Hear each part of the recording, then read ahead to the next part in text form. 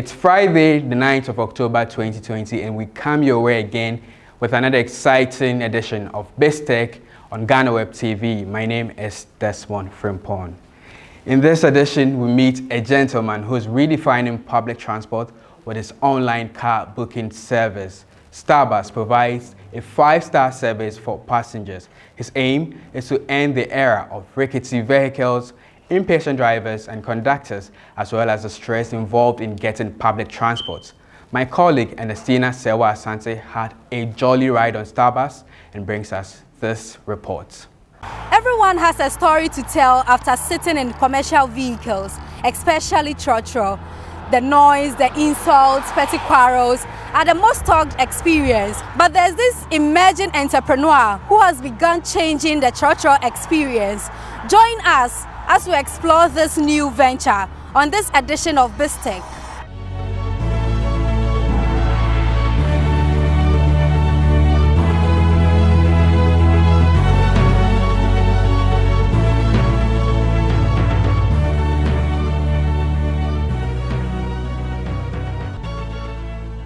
What informed your decision to start this business?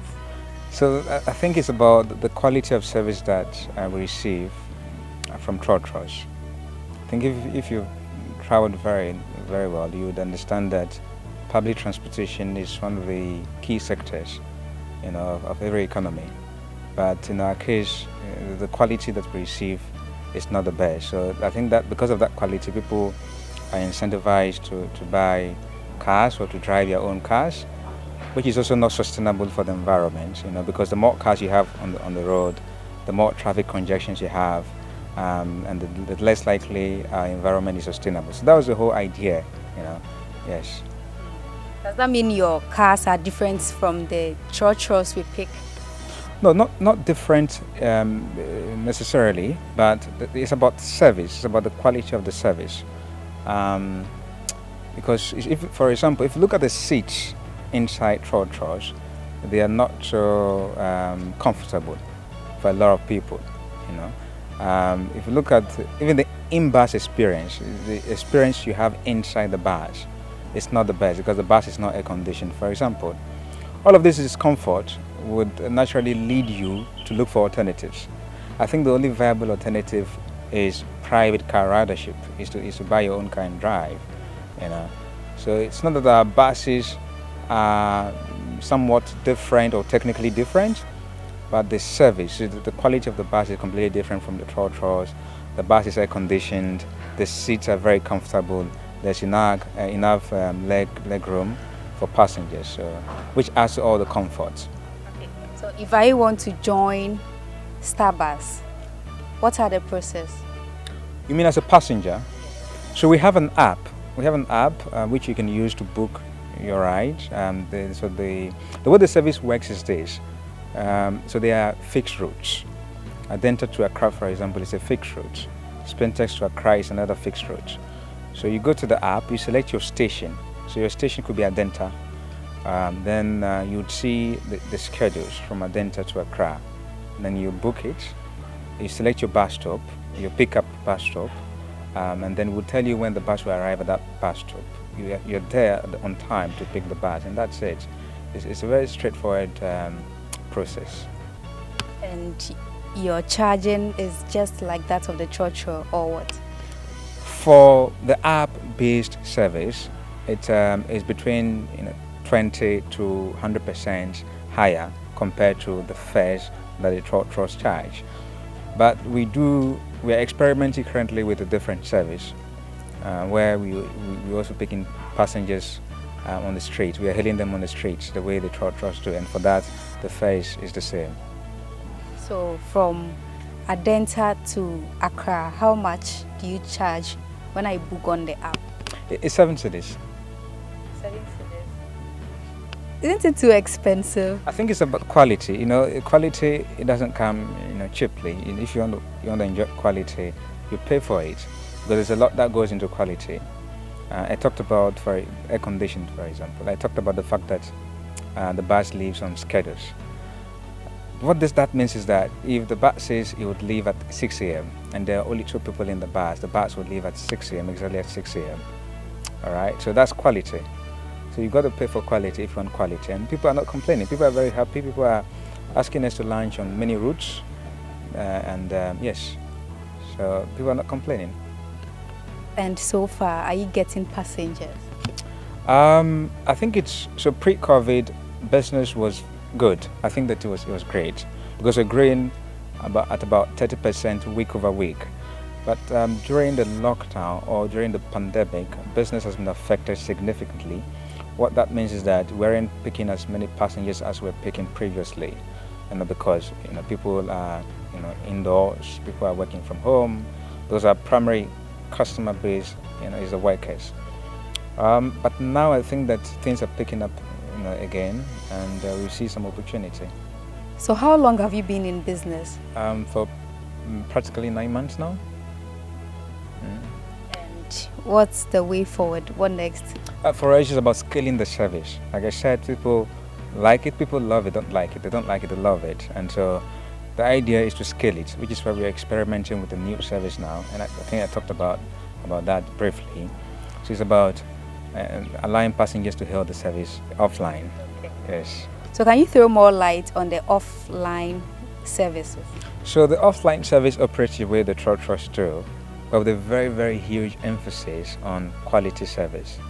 Quality service is about the quality of the bus that we put on the road, the service that the passenger receives inside the bus. So the bus is air conditioned, the bus conductor and the drivers are uniformed, and they are trained to treat passengers uh, in the most decent manner. Um, and uh, yeah, so this is a, the service you receive, you know, whilst you, you are aboard the bus.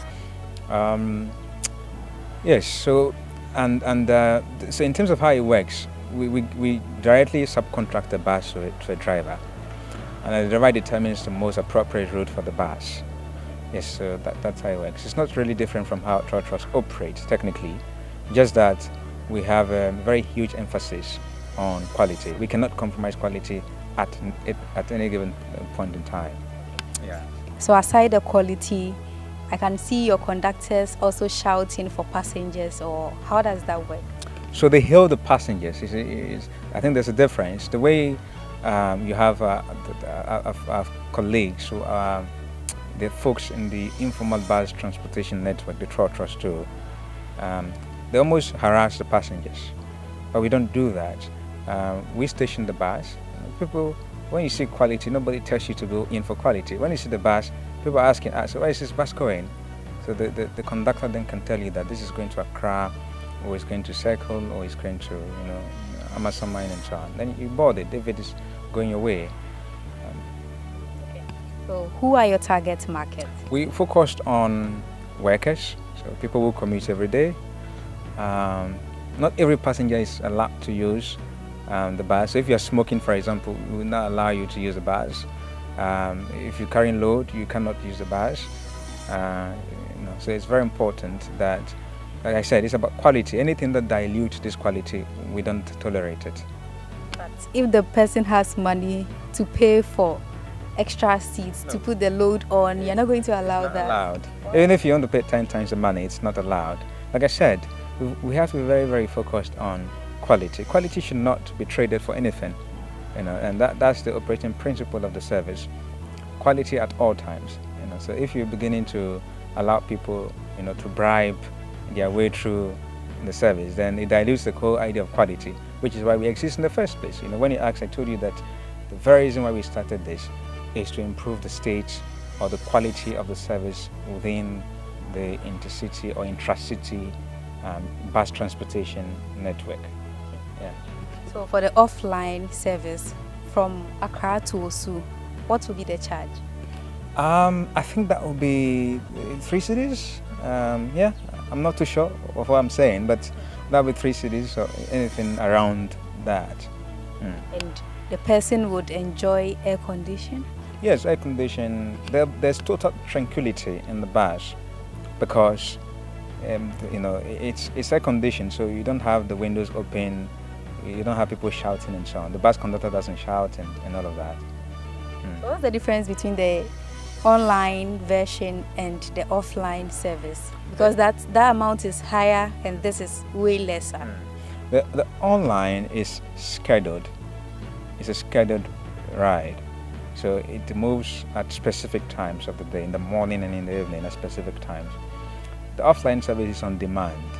And here, there's a bit of, um, of, if you like, there's a bit of compromise that we have to make because we have to also do some of the things that the trotros do, like hailing passengers on the street, you know, which I think could be an inconvenience to some passengers, you know.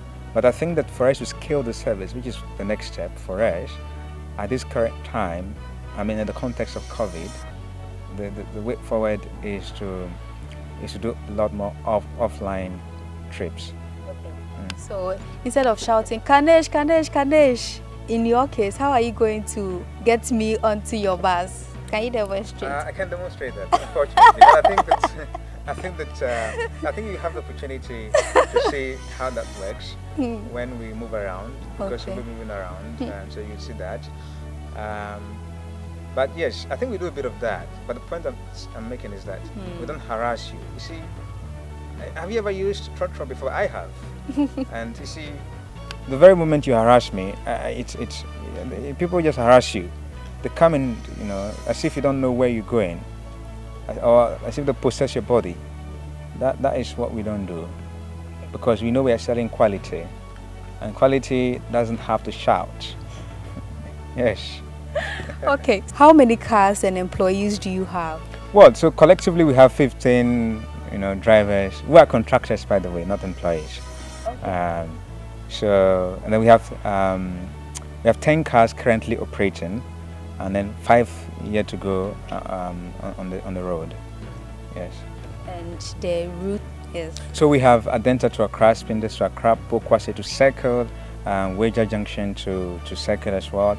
We have Dansoman to Circle. Yes, and there are new routes that we'll be adding, like for Amasaman to Accra. Um, yeah, I think there's also Dodowa to Accra we want to add. Yes with the new offline model, there's no limit, uh, you know, as to how much we can do or how much um, area we can cover in Accra. So, which routes do you ply? New routes or special routes you have? Yeah, we do have some what we call custom routes uh, because again, it's about quality. Quality is about meeting the customer needs. So if we take um, an area like um, East Legon, there are, there are places where they are part of East Legon where trucks don't go. But we can go there because of the custom route or the personalized service that we provide. So does that mean the Trotros are your competitors? Well, I think that the answer is yes. The answer is yes, but I think that we are, we are, we are complementing each other. You know, transportation as a service is not about competition, it's about complementarity. So if you understand it that way, uh, I think that would peacefully coexist. Look at the way taxis and um, ride-hailing apps like Uber uh, are currently coexisting. You know, I think there's a use case for each of them, and and uh, yes, so uh, I wouldn't say it is a competition in that sense, but yes, technically competition because we are competing for the attention of people who also use Trotro. And then how do I or how do passengers get the app on their phone for you? You you have to tell them the process they have to go through. Well, so um, you go to the Google Play Store, you search for Stabus, you download it, you sign up, and that is it. Uh, once you sign up, you see a list of stations that are available, and um, you select your, your, your preferred station, and, and that's it. With the mode of payment, is it weekly, monthly, or how does it work? So it is as pay as you go. Okay, so when you use the service, then you pay and cash right now. Um, but some people who use the service regularly, especially those who are using the app, uh, have arrangement to pay weekly.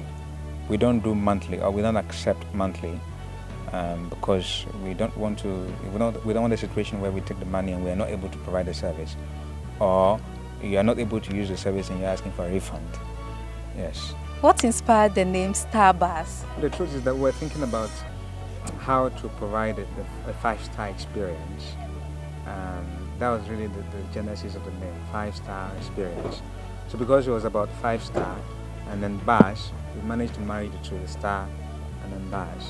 But we didn't want it to be, you know, star. You know, so we decided to remove the, or to omit the R and made it star bars. We want to delve into your business background. So where did you start from to get here? I previously worked um, with with Imani, you know Imani? Yeah. Um, so I was, um, I, was in, I was in charge of technology and communications at Imani. And then in 2016 I discovered an opportunity to build software for the banking industry. So we built some software for, for, for microfinance institutions and savings and loans. And during the 2008, uh, 2018 and 19 banking crisis, we had to shut down that operation because you know financial institutions were going out of business, and and so we had to look for, um, or I have to look for a different opportunity um, as an entrepreneur because I'm an entrepreneur. I'm not. Um, yes, that's what I do, looking for opportunities. So uh, and transportation was one of those those opportunities that I discovered. So having the technological background. Are you the one that designed or created the app for Stabus? So um, we have a team. We have a team of, uh, of, of, programmers, of developers who work on the app. I was not directly involved in the coding because, look, as an entrepreneur, you have to be more uh, business oriented, especially in this market, than you know, technically oriented. So I, I was I was involved in the supervision and the execution of the whole product of the whole app but not directly built it. And so far, what has been the some of the challenges? I think, for, especially with the app, the, the, challenge has been to scale it to as many people as possible. Because you have somebody, for example, who, if the person lives here and we don't have a route here, he's asking us to launch a route here. We can just do that, you know. So if we, if we don't launch a route, he's not happy and uh, he's disappointed. The next time we have a route, uh, we have um, yes a bus on his route, he's lost the interest to come or to use the service because you know the time he wanted this we were unavailable for him. So that's one of the key challenges: um, scaling the service um, to as many people or to on um, on many routes as possible.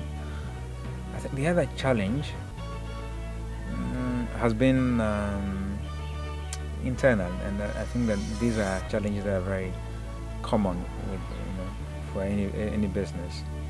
Yeah. yeah. I I want to know the internal challenges. So if you don't mind and you want to share.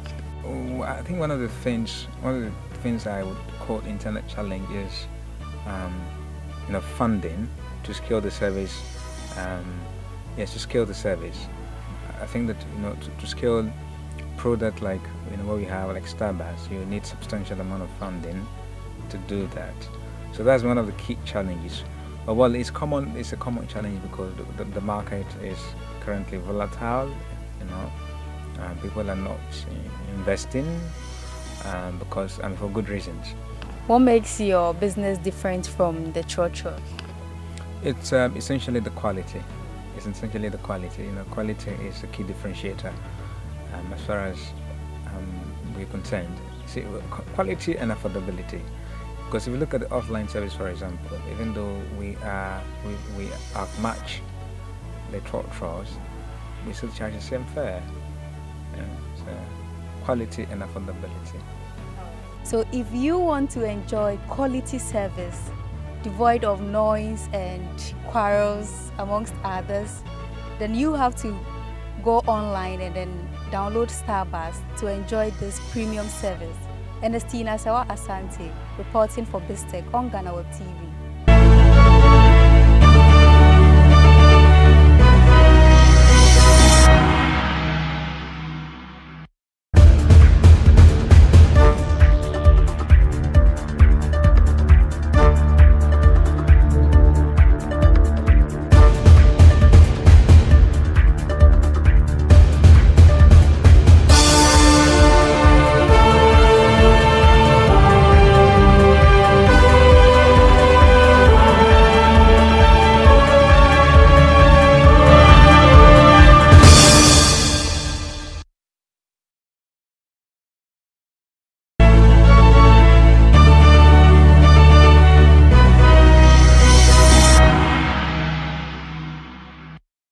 Last week we learned about Loom. This week Jefferson continues the series on some internet tools that can be of help in our everyday lives on Tech Bits.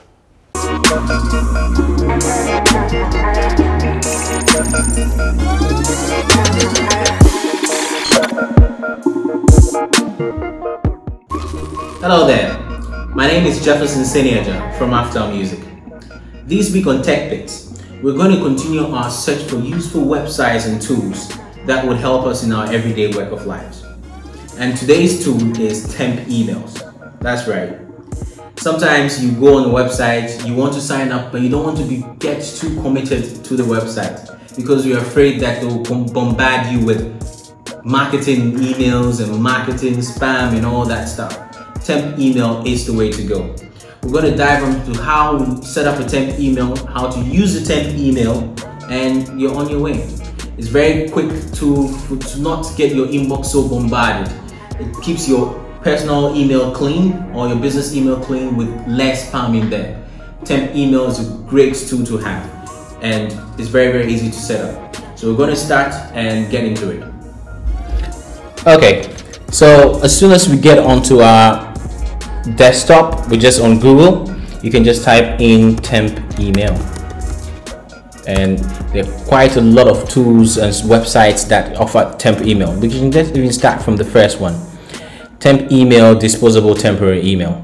And once you get there the first on your screen your temporary email address it will generate a very, very random uh, uh, email address for you. This these type of tools constantly generate uh, um, emails so even when you come here the following day, you might find another email.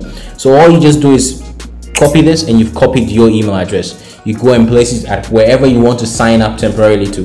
The catch is that once you are here, you come scroll down and that's your inbox.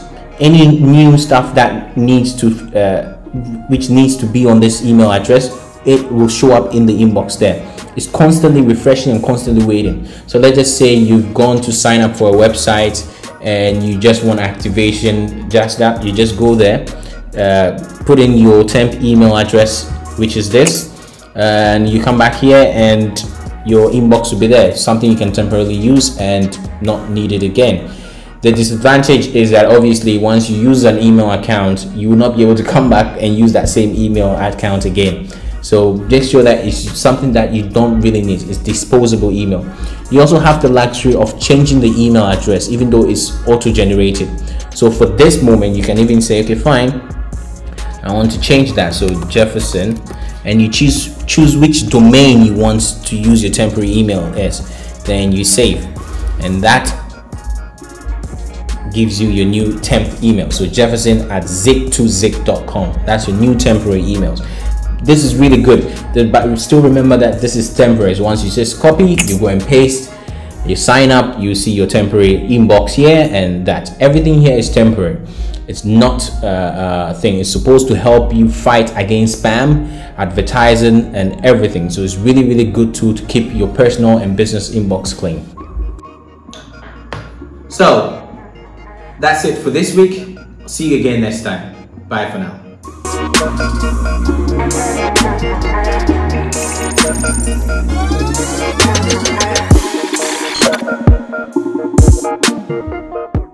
in business headlines this week, the aviation sector faces shutdown as staff protest encroachment of airport lands. And CEO of Ghana Investment Promotion Center, Yofi Grant, has hinted of Boeing hoping to set up in Ghana to service planes in Africa.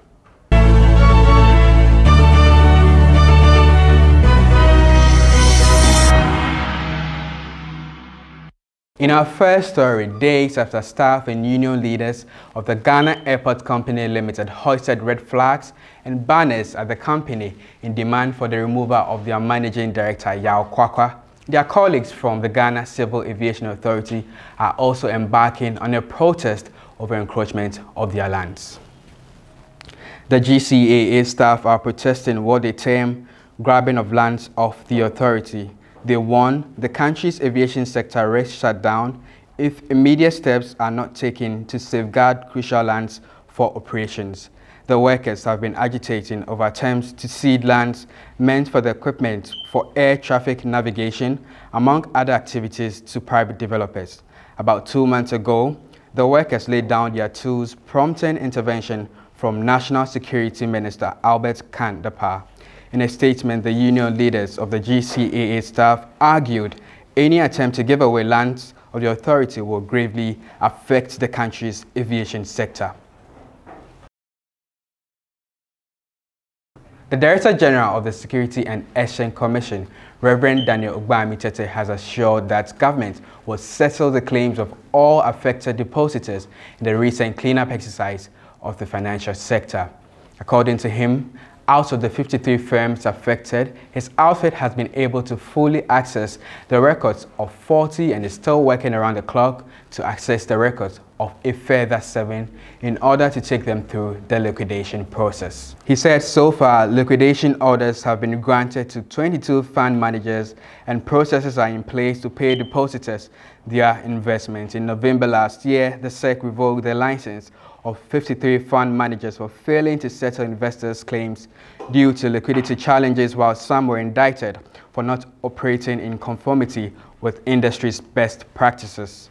This followed discussions with government and subsequently the appointment of the Registrar General as official liquidator to see to it that depositors whose funds were locked up in the cleanup exercise were duly paid the money they invested in these fund managers government has suspended the intended launch of an initial public offering of the Agyapa Minerals Royalties Limited. The Finance Ministry has explained that the move is to allow the Office of the Special Prosecutor ample time to conduct its corruption risk assessment regarding the transaction. The decision to hold the process comes on the back of calls by the OSP for more information on the deal which will inform the way forward as to its benefits to Ghana. The special prosecutor had in earlier letter to the Ministry of Finance indicated that information it had been furnished with was inadequate.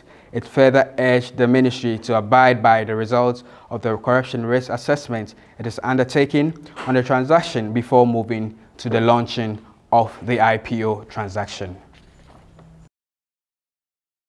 In our last story, the Chief Executive Officer of the Ghana Investment Promotion Center, Yofi Grant, has hinted of plans by Boeing to establish an office in Ghana.